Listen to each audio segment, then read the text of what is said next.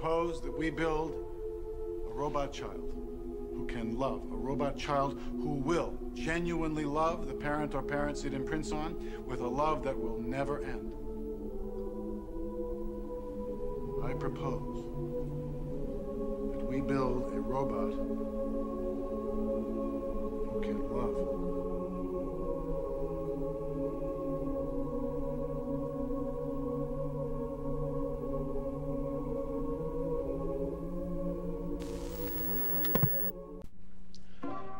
Artificial intelligence is defined by Google as the theory and development of computer systems able to perform tasks that normally require human intelligence, such as visual perception, speech recognition, decision making, and translation between languages.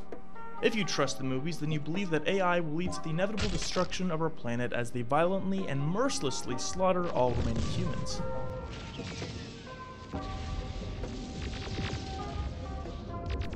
But if you trust actual scientists, then you also believe that AI will lead to the destruction of humanity.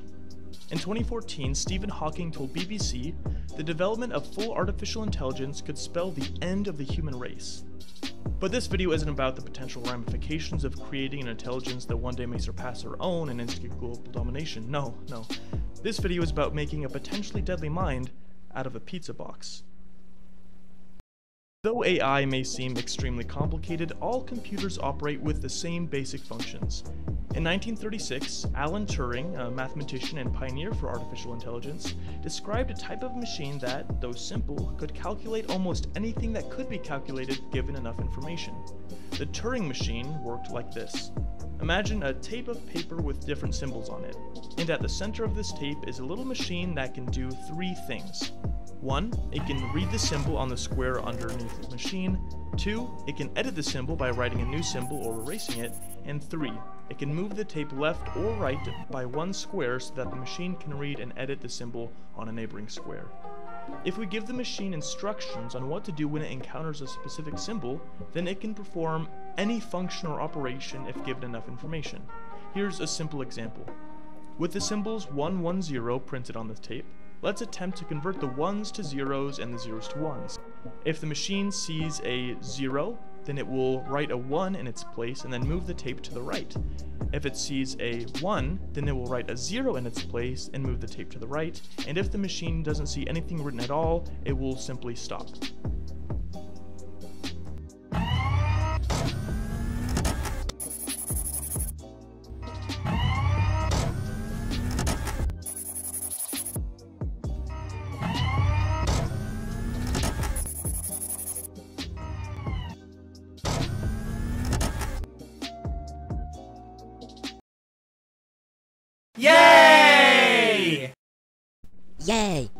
Was a very simple example, but this machine could compute an infinite amount of information that could include mathematical calculations, physics simulations, or artificial intelligence.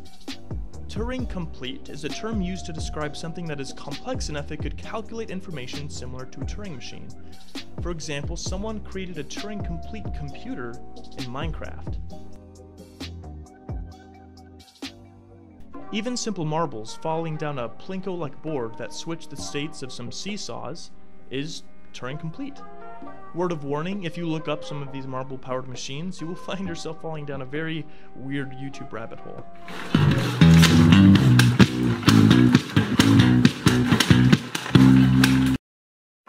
This is where my pizza box comes in. Following the design of this marble adding machine I found online, I can make an artificial intelligence you can converse with. Now this machine isn't actually AI, instead it's a simple addition calculator.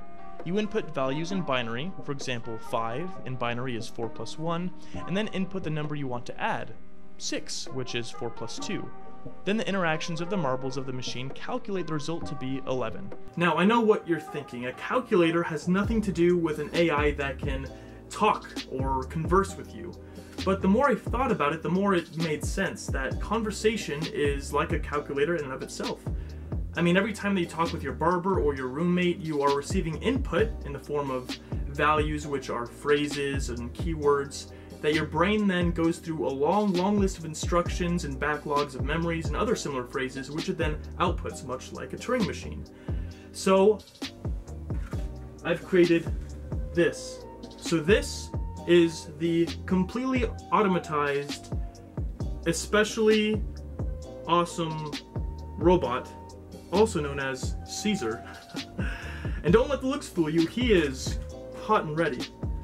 So this is built identically to the digital calculator that you saw that I found online, but the difference is you don't input numbers, but you input words like you do in conversation. But each word has to be associated with a different number or different set of values. We'll put coins here instead of marbles, which will then interact with these little seesaw cardboard pieces, which will then give us a result.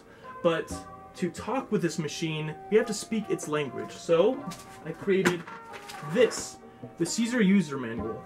Now, we can't have a very complex conversation with the thing, so I chose uh, a small list of a few basic words that you could ask basic questions. So those are interrogative words, a few modal verbs, personal pronouns, and then uh, subjects, what you want to talk about, like life, the universe, the meaning of, of anything. The way that you use Caesar is very simple. You look for the words that you want to ask. For example, if we're going to ask, uh, what is the meaning of life? That's a lot of words, so we have to shave it down to, let's say, three basic words that would convey that same message. For example, uh, why is life? Could also be another rephrasing of what is the meaning of life. So to ask the question why, we have to put one coin in the third slot from the left. And the coin is now saved in that space, so then we can input other words, and then the interactions of the coins, that just broke, will give us a result to what Caesar says. Is or are, you put coins on the sides right here, let them slide, and then life is two coins here and here. And the result gives us with this. And on the next page of the user manual, you can reference that same pattern and the answer to what is the meaning of life is 42. Okay, alright, not, not bad, not great either. Let's ask Caesar another question. Uh, let's ask who he is. Let's get to know him a little bit. So, who is one coin at the very end here. R is two coins right here. U is two coins, one here and one here. Okay, compare that with the response archive. And it says, I am Caesar, a one-of-a-kind artificial intelligence. Want to play a game? Okay, sure. Not only can you have a conversation with Caesar, but I also made it so that you can play tic-tac-toe in a very simple way.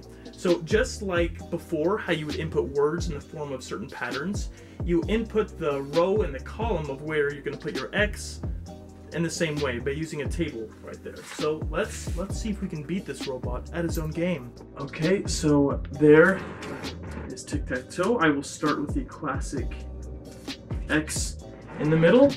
So now Let's see what Caesar's response is.